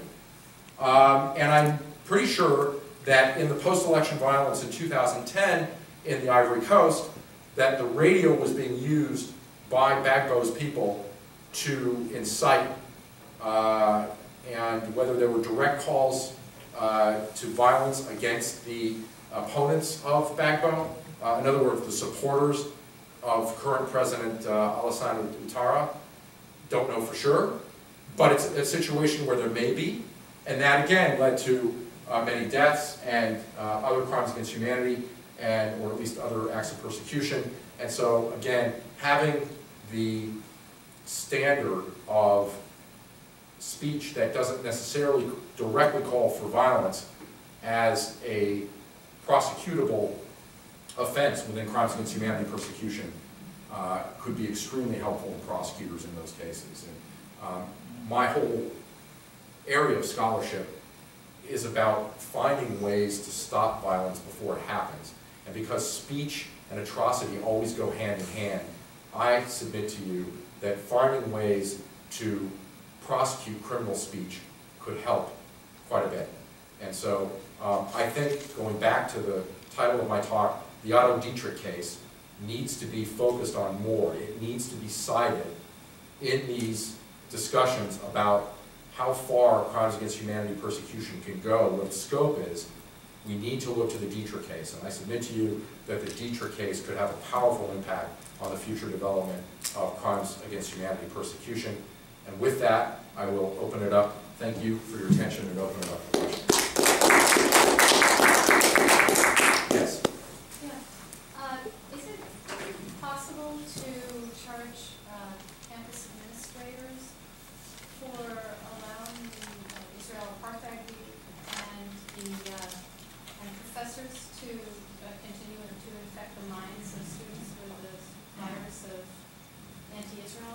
I don't think it's gonna apply in this context, because it's not leading to atrocities. It's, it's not leading to the kind of uh, campaign persecution that I think is at issue in these cases. Uh, Now, does it mean that it's proper? Does it mean that there might not be other legal avenues to deal with it? Um, I, I would think that, that there should be. Uh, I know that this is an issue uh, that Center uh, works on quite a bit, and I know they explore legal avenues, but it's not, it's not through this. Now, if it rises to a level uh, of a persecutory campaign that is going on at a national level, um, then I think that, that it gets implicated. But I think the principles are there, and I think, I think that it certainly would be within the proper, um, I'd say within the proper context, it could be cited, but I don't think it's gonna lead to legal action. Yes, ma'am? I'm surprised to hear you say that the incumbency of Ahmadinejad would be ending soon, and therefore, his statements about the destruction of Israel, and clearly has said it in the past, not only hate speech, but to follow up the hate speech which is destroying Israel, that that in itself should have been cause for international alarm and case against. Well, you know what, I mean, I, I was getting toward the end of my remarks, and I could have also added, um, I I didn't want to spend too much time, I could have also added that there's been some, uh, debate about how to translate what he said. And there are people who say, well, he didn't actually say, uh, that Israel should be wiped off the map. There are other ways, he, he said, uh, it should be, you know, taken away from the page of, of time or something like that. I mean, there are other interpretations that have been offered. Um, let's say that, you know, there's enough to raise reasonable doubt in that regard. With this other charge, you don't have to worry about that. That's my whole point. If you're sticking with the narrow confines of incitement to genocide, you've got all kinds of difficult burdens that you've got to overcome. You, you shouldn't have to do that. Now, of course, it also means that you have to connect them up to a widespread or systematic attack against the civilian population via Hamas, uh, or possibly uh, Islamic Jihad or Hezbollah, depending on the context and what's going on. Um, and that might be possible, but I think that ought to be within the options. Um, and, you know, I think one of the, one of the facts is that, you know, whether you find or not that there's a statute of limitations on what Ahmadinejad said, um, the political reality of being able to prosecute him, I think, becomes less and less when he's no longer president and more time goes on between his statements and any chance of prosecuting him. But you still have the other Iranian leaders who are saying all this garbage uh, all the time. I mean, all these toxic things about Israel. Uh, and I, just think it would be good if we could have um, another, as I say, arrow the quiver to deal with that. Yes? I'm, I'm curious about, um, applying this to, um, Arab television that on a daily basis, uh, uses language against Jews that's quite similar to, uh, what the, uh, the Nazi regime, uh, used in their propaganda. Right. So, uh, and, and we, we, I mean, the, the, the end result being, uh, terrorist attacks, murderous terrorist attacks against, uh, Jews. So, what do you, has this, has anyone had this kind of conversation or discussion about whether it can be applied to the propaganda, the genocidal propaganda on Arab television? Again, it's funny, I I don't think you have to use the word genocidal, be careful, because if, if you want to use this charge that I'm talking about, crimes against humanity persecution, it doesn't have to be Okay, so I, I withdraw the Yeah, but the. Right, but the hate speech Yeah. that doesn't necessarily directly call for violence. If you can prove that it's being uh, uttered as part of a widespread or systematic attack against the civilian population, yes. And so, yeah, and I think that that would, that could be a potential charge. Now, um, you know, I, I, there, have there been as many terrorist attacks? Because I think what you're talking about comes from the Palestinian Authority, right? Well, I, you know, I, Palestinian Media Watch records Palestinian television. But it's from But PA. MEMRI does, uh, does Arab, outside of the Palestinian TV. We have, we have evidence from both on, on a regular basis. When you say both, what do you mean? Arab, general Arab television, and also whether it comes from Egypt or Saudi Arabia. Well, yeah, but you're, you're, you're trying to link it up to terrorist attacks. So if you're, are you talking, were you talking about Palestinian Authority before? I'm talking about Palestinian TV, so there, of Right. course, of course. there's- But coming from the Palestinian Authority? Yeah, yeah. Okay, so you, what you have to do is link up what's happening in the Palestinian Authority in terms of organization of a widespread or systematic attack against the civilian population and the speech. And if you can do that, this is available. Charles? So, uh, Two quick questions. So I don't think it's an issue of Ahmadinejad, that's- I'm not a lawyer, so forgive me uh, for being ignorant when I speak to you. I'm not. I'm a lawyer. Actually, you should, you should A be, legal scholar. you should be thanked for it. Uh, A lawyer and a legal scholar, so I don't know exactly what I'm speaking about in terms of legality and Okay. international law. No worries. But in terms of the Iranian revolutionary regime, Ahmadinejad is an actor that believes and is fitting into a very specific context laid out by the, by the regime. Ayatollah Khomeini, before he, or as he came to power in nineteen seventy-nine, wrote a book. First six or seven pages is dedicated to his understanding of Israel, the Jews, and the Zionists, and he basically calls for their liquidation. And the regime, as far as I'm aware, studying the ideology and their policies, are committed to it, at least rhetorically. That's my, I, I agree with you. I think it's, it's embedded. I think it's ingrained in the regime. Okay, their nuclear weapons program, I would argue there's a link between this rhetoric and this ideology and what they're out to achieve, I would argue. Now, I've argued it too. I know, so now, here- here's the thing. Yeah, About three years ago at Yale University, I wanted to have a mock trial of the regime at, at the Yale Law School. You asked me to be the I prosecutor. know. And I, and I told you I was interested. And it was squashed. And it was squashed because I grew, I met a group of legal scholars who said, we were talking about the uh, Convention for the Punishment and Prevention of Genocide, Article three or four says, Yeah. right, we can't incite to genocide. And the. Article the- three. Article three. Yep. Section C. The art, so the, the legal scholars were saying, in the United States of America, First Amendment, American law supersedes international law, and that they were arguing that incitement to genocide only becomes incitement to genocide once the genocide is committed. Now, I- now, I'm not a legal scholar, but I can't imagine that international law. I don't agree with that. Another one of the articles that I've been meaning to write is the relationship between incitement to genocide, the current standard, and the American First Amendment law. And I just, I will do it at some point. Uh, just, there's so many articles to write. Uh, It's, you know, um, But I don't, I don't think they're inconsistent. So just, it blew my mind that some of the best legal scholars in this country could not want to do the, the mock trial, and they use this rationale. I mean.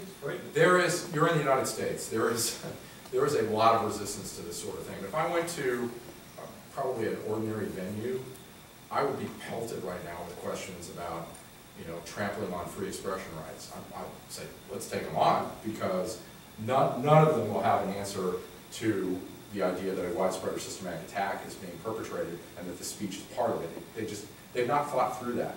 I've not seen that. I've had a chance to present this in one of those hostile venues before. Um, so I'm kind of looking forward to it.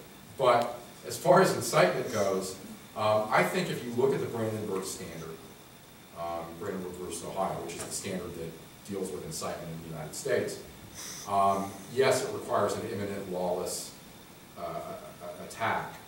Um, I I think arguably direct and public incitement to commit genocide, the direct part uh, is consistent with, with Brandenburg. But that's, I it's another subject. Again, you see, you're back into incitement to commit genocide. We, I, I want to get us away from just thinking about that. That's the, the same, I mean, I've come to a lot of these conferences, it's always about incitement to commit genocide. And I'm not saying it shouldn't be part of the mix, I'm just saying it's important to add this, I, because I think it's implicated. And I, I appreciate that, you know, we still have to talk about incitement in the case of the Iranians. But let's also talk about this. Yes? Um, so I have a, two two questions that pertain to your speech. First of all, thank you so much for coming. It was an excellent uh, presentation. Uh, the first being, I'm curious uh, to hear your thoughts about the film last year that came out, Denigrating Islam, which was sort of used as an excuse for the attack in Benghazi. And so, how does your theory on future law or prosecution of sort of hate speech that, that doesn't necessarily incite genocide, uh, but maybe used as an excuse uh, for it or attacks on embassies? So I'm curious to hear what your thoughts were on that Yeah. And particularly um, how it was used Do you as a go one at a justification. time, and I'll, I'll take that one, and you can ask the Sure, question? sure, or whatever. Um, you know, I had, I had some friends who said, oh, you know, you've got to write an op-ed when that, when that film came out. Right. this. You know, the, the New York Times will publish you on this, and you should write it, and, um, I thought about it, and I thought, you know, I don't really know that my scholarship is implicated by that, because it's a, it's a it's kind of a, kind of a unique situation. It was not, it doesn't rise to the level of, say, a persecutory campaign. Do I think it could be part of a persecutory campaign? Yes, I do. Um, it, it's something that I could see as being, you know, a constituent part of it. But, and I thought about it, and I thought about running, and I could say, well, this could be part of it, but I thought I was going, I would be going a little bit too far afield. Because it didn't, that wasn't really specifically what people were, were worried about. Um, and of course, First Amendment concerns came up. Um, but, you know, there are domestic laws. Keep in mind, we're talking about international law here, so when the woman asked me, the first question I got, you know, what about what's going on on campuses in the United States? There are domestic laws that, that at that point apply. The, international jurisdiction is just not there. I don't, I don't think those rise to the level of international crimes. Remember when I told you, to, what makes it an international crime is the chapeau. That's why I, I'm, glad I showed you what the chapeau meant. The chapeau, the enumerated acts, those are domestic crimes. And you saw that persecution was among them. Those are just domestic crimes. What makes it an international crime where there is international jurisdiction is the chapeau. And the chapeau is a widespread or systematic attack against the civilian population. I don't think you had that in the Benghazi case. I don't think you have that uh, in the individual campus situations that you're talking about. Well, it's nice, people want to say, God, this, this sounds great, you know? Why don't we use this in you know, this situation or that situation?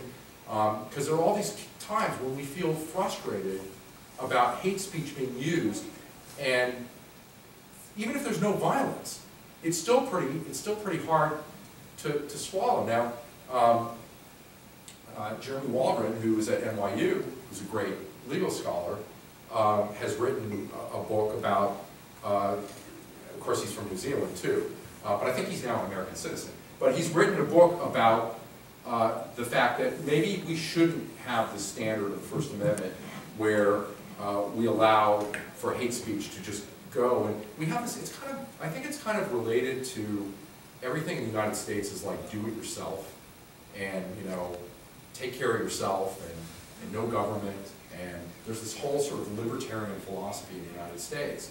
And the idea with speech is, well, good speech can counter bad speech. So if you're the victim of that bad speech, well, too bad. You're going to have to take your lumps, and you're going to have to go out in the marketplace of ideas, and you're going to have to just deal with it yourself. And I know I said that I had drunk the American First Amendment Kool-Aid, and I have to a certain extent, but um, Waldron gives a wonderful example in his book uh, about a child who is walking with her father and sees some horrible racist epithet that applies to her, and she's only six or seven years old, but she can read and she understands what it means. Should she be subjected to that? Maybe not. Um, you know, maybe there's an, an, idea, and I think there's kind of an analogy that's made um, with uh, people who allow, it's almost like, it's like strict liability. If you're going to allow in the stream of commerce uh, things that poison and kill and maim and injure people, that you should be responsible for them. Well, there's maybe an analogy for what we allow into the stream of expression. Um, I don't know. Those are tough questions, and they're not, they're not what I was here to talk about tonight. I realize that they are related in, in certain ways, but like I said, those are domestic issues. This is an international criminal law issue that does have freedom of expression implications as well, but that's, that's as far as it goes. And you had a follow-up question. Yeah, so um, a question more pertaining to your, uh, your, uh, your, your presentation in itself. Uh, you mentioned that sort of the, the, the, the categorization of crimes against humanity does require that the defendant is aware of what he's doing or what he's acting upon is sort of pursuant to a policy or, or some, action against it. Like that it could, part of a widespread or systematic attack. Right, uh, but, but, but that would also presume that sort of the, these actions could be prosecuted against at some point. So, but wouldn't so the the uh, the Nuremberg trials in themselves wouldn't that be the paradigm of, of ex post facto ex post facto law in that the the perpetrators of the crimes against humanity and of the genocide against Jews in Nazi Germany were not aware of what they were doing or were not aware at the time um, that what they were doing was necessarily prosec prosecutable um, in court. And also the fact that Germany was not a signatory and, and, did not consent to having the IMT. So how does that affect your theory, if, if, at all? In two ways I, I can respond to you. First of all, um, your question implies that the defendant had a legal knowledge, i.e. that his acts would be, or that the widespread or systematic attack that is against the law, and that's not, I don't, that's not in any way read into these statutes. It's just an awareness of the fact that there is a, a widespread attack taking place. Um, it doesn't have to be a knowledge that that has been criminalized as crimes against humanity. There's no knowledge of the law that is, now, there are, there are cases where knowledge of the law is a part of a crime. Um, I mean, just a simple example on the domestic level, um, you know, uh, tax evasion. You know, you have to know that you have a legal duty to file your tax returns. That's a legal duty. That is not what we have here in terms of the knowledge element of the mens rea of crimes against humanity. Second, my second point is that, well, let's even assume that that applied to Nuremberg, because Nuremberg didn't have the widespread or systematic attack uh, as part of the chapeau. Um, my response would be, I'm talking about modern cases. So I don't, I don't, you know, it's, it's kind of easy for me, I don't have to deal with Nuremberg, because I'm talking about what, going forward, we need to think about. But then, so isn't all of that going forward based on the precedent of that trial, which was based on the assumption that, or, or sort of did, did presume that these people did not have a knowledge of what was prosecutable or not? So, so all the precedent is, is what affects the future cases. I think the piece of it that counts in that respect is whether these people were calling, whether the speaker was calling directly for violence. Mhm. That's the part that, that counts, not the chapeau. Okay. You see the difference? Okay, good, yes. Yes, uh, great presentation, very content dense. So I may have missed something. uh, No problem. uh, I'm a law professor, sorry. That's okay. I, I I realized that Susan Benesch went first, she was a law, I think she's a law professor, so um, maybe it's good that you bookended us this year, I don't know. When it comes to the uh, ICTR and ICTY decisions, uh, just to clarify, there was, there was no reference to Dietrich in either, either of them? That's correct. None. How come? It's a good question. I think, I think because Dietrich is not clear, So they knew of it, but. I don't even know that they knew of it, I, I, I just don't know that they wanted to wade into those waters, because it doesn't, no one talks about Dietrich really as being crimes against humanity persecution. When you see commentary on it, it's crimes against humanity. He was convicted of crimes against humanity, and no one goes further. Um, and so, whereas the IMT decisions specifically talk about crimes against humanity and persecution.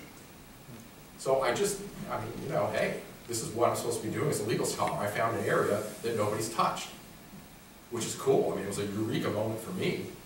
You know, I mean, this is what I'm supposed to be doing. I'm not rehashing the same things over and over again. I'm looking for new ground. That's kind of what I meant about just talking about incitement to genocide with Ahmadinejad over and over again. It's been said. We've, we've, had, we've covered it as far as the legal principles go. But there's still new ground to be opened in this area.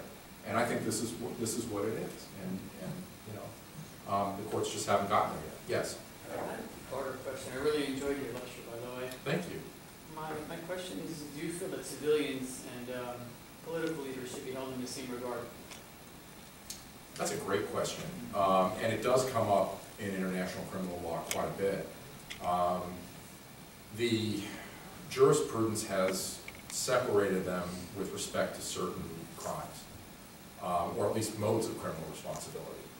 Uh, so, for example, uh, what's known as superior responsibility uh, is divided in terms of the standard that's applied uh, between civilians and military. And for civilians, a greater degree of control has to be shown. It's not presumed as it is for military uh, personnel. Um, And so it depends on, on what you're looking at, but I, I would think that, um, that there are civilians who can be in a position de facto uh, of exercising authority uh, where their liability could come into question. Um, And so you have to look at it on a case-by-case basis, and you have to look at the specific doctrines that might be involved, such as command responsibility or superior responsibility. Yeah, it's a good question, and, and it can come up. Yes? The freedom is the classical one, of course, limiting freedom of speech is yelling fire, in a crowded theater. Sure, that's, uh, harm. Justice Holmes's great analogy Yeah, in Schenck. By generalizing that, if there's a probability that your audience will listen to you, then incitement to violence can be a crime and is, uh, a, uh, is not covered by freedom of speech. That is, freedom of speech is limited by the fact that it can't, it shouldn't do any harm and, uh, and even, even if it's true. And, and, uh, and, and so yelling fire in the theater means that the, that what you say does great harm. And in, in general, I think in the same building, maybe in the nearby room, we heard that gen, that generalized that, uh, your, your speech cannot be effective or cannot be perceived to be effective to actually encouraging people to do Yeah, well, thank you for bringing that up. Uh, First of all, this building is so beautiful and modern that I can't imagine that yelling fire anywhere in it would cause any violence. It just seems like it's probably been designed to deal with that. It's just incredible. Um, I'm glad we were able to have the talk here. Uh, in all seriousness, getting to the merits of what you said, that's the Brandenburg standard that I was talking about. Um, is it intended to produce imminent lawless violence, and is it reasonably likely to produce imminent lawless violence? That's the standard. And so, um, that's, that goes, um, that, that, that was a progression, I mean, within American First Amendment jurisprudence, uh, going from the, uh, clear and present danger test, uh, eventually to the Brandenburg, uh, uh, standard that, that I just mentioned to you from 1968, 1969. Um, Interesting to note that the military has a different standard. In the military, they still use the clear and present danger test. So in the military, it's less speech protective. So when I wrote my article on incitement to war crimes, um, that came up when I talked about freedom of expression problems. Um, so it was really interesting to note that. But yes, generally that's the standard that we use here in the United States. Um, you've got this look of like, I'm the authority here, like you need to call on me because this is not related to a question about my lecture. No, no, it's related to the question. Oh, it is? Okay. I thought this was like, we have to wrap it No, up no, pretty no, soon. we're- We Okay. have time. Okay, great. Uh, Yes. Oh, just a quick question about uh, your point uh, pertaining to your th- theory and uh, kind of applying that to war and, and the laws of modern warfare. Uh, do you think that sort of the the, the new uh, a jurisprudence uh, um, tying to hate speech does that or will that apply to preemptive or preventative warfare? Uh, for example, take the case of Israel and Iran. Would Israel be justified um, had Iran not uh, um, bombed the embassy in Brazil? Would, would Israel be justified in attacking Iran preemptively, or or would that be considered pre- uh, preventative because it just hates speech uh, or speech to incite, as opposed to actively building takes from their borders or uh, others, other such uh, physical measures? You- do um, so basically, do you think your your theory sort of applies directly to warfare or or not? Well, I, I can say, and I think we're back to the incitement Yeah. piece, uh, but in my article on Ahmadinejad uh, and incitement from 2008, um, I actually in a footnote dealt with that issue um, and said that because nuclear weapons were involved, that perhaps we could consider imminence um, a little bit differently from, from normal. Uh, but of course, that gets you to the whole preemptive Bush doctrine, quote unquote. And lest there be any doubt, I mean, I, I suppose, I suppose I shouldn't do this in the middle of an academic talk, but uh, I'm a dyed-in-the-wool liberal, believe it or not.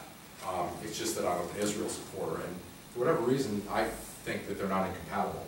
Um, but um, um, I, I, I guess the, the reason I, I say all that is because, of course, there was a lot of controversy about the Bush doctrine. And I myself have some, some issues with it. Um, I think the U.S. has much too easily and readily uh, trampled on international law, at least did during the Bush administration. Um, and I, I'd rather see the United States be a leader in international law. I think that's our traditional position, um, and that's what makes me proud to be an American. Um, upholding the rule of law around the world and being a leader and not, not some, not a country that undermines the rule of law. So that said, I do think it's worth noting that we're talking about nuclear weapons here. And so I think the calculus with respect to speech, if you're applying the Brandenburg standard, which is what we're talking about, um, I do think it, it's worth considering that you're dealing with nuclear weapons. To what degree, I don't know, I, it's just a footnote. I haven't thought through it enough, I haven't worked it out, but I do have concerns about it. And I just want to say that, and I, I don't have a, a, a definite position on it. I have a question, it's related to these two questions. Yeah, sure. Ho- The Holmes, uh, Fire in the theater, when did, was that ruling? Well, you know, I said Schenck, and it may have been Abrams, but like, you know, nineteen nineteen, Okay, so now, nearly a century later, yeah, the theater is the internet. right, It's no longer the local Yeah. place down the road where they're showing a film. right, The internet, um, the, most of the domains that are pre- preaching hatred are based in the United States of America because of the First Amendment. right, And these domains are protected. So in countries like Canada, for Yeah. example, where there's freedom of speech, but also freedom from speech, and Yeah. speech is protected, the, the system is Sure. protected. How can the United States, given the Constitution and the First Amendment, become an enforcer of international law and stop the spread of hatred? They are the, the purveyors in the world of hatred. Here's how, and I think, this is in my humble opinion, um, perhaps we have to realize that the internet is not analogous to the marketplace of ideas. Why? Because under the traditional marketplace of ideas notion, uh, things were happening not so fast. And if someone came out with a speech or a newspaper article or, or something like that, even a radio broadcast, there was time to sort of counter it in real time. Whereas now, we're bombarded with thousands of messages constantly, every day, 24/7. And it's not clear to me that the premise of the marketplace of ideas is still operating, i.e. that that speech can realistically be countered. So I, this is, you know, something that has been, that is being debated in scholarly circles, and I've uh, been at conferences where we've talked about this. Um, But I, I think you're onto something important, and I think we have to perhaps revisit the paradigm and, and maybe adjust. Yes? did have a, my previous question here. Sorry I wasn't able to satisfy you with my first okay, try, response. I'm gonna try again. Yeah, sure. What if, uh, can charge, we charges be brought against foreign students who are part of these hate groups? And, um, and if you see that on these campuses, that there's a parallel between the, uh, the activity level of these groups and also the amount of uh, harassment and violence against your students, and that, and the combination be, uh, I've got to, I've got to ask for more details because I'm not, so you're saying this is going on at foreign campuses? No, no, no, no. If there are foreign students Oh, foreign in- students, in okay. US In US, campuses, okay, got it. can they charges be brought against those students for hate speech? It just, to me, it doesn't change anything. Doesn't change No, I don't think so. I mean, I thought maybe we were asking that, you know, whether the, um, there was a connection between the students and the government or something like that. It was Well, part of-. Okay, Well, there is, I mean, these, these. We have to wrap it up. Okay, Oh, no, yeah, okay, that's these, fine. if, if, if it can be shown that these groups have ties to, uh, to, uh, other, you know, to Muslim Brotherhood, or Hezbollah, or Yeah. Hamas. yeah, I mean, I think it could, it quite possibly could be used as evidence of a persecutory campaign. Um, Whether those things in and of themselves would be chargeable, um, that raises all kinds of jurisdictional questions. It's happening here in the United States, and, um, you know, there's just, that, that raises a, a whole myriad of complex jurisdictional issues that we don't really have the time to sit down and roll up our sleeves and go through now. Um, But just an easy answer would be that it might serve as evidence of uh, a persecutory campaign uh, wherein the chargeable acts are taking place outside, you know, outside the US.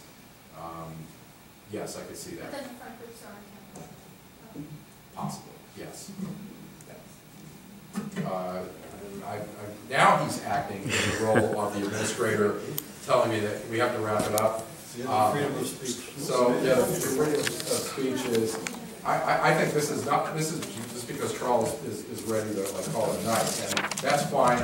God, I, I really appreciated these great questions, I think we answered, you know, hopefully all of the important ones that you have, so thank you so much for your attention, and, um, thanks for having me here. And and thank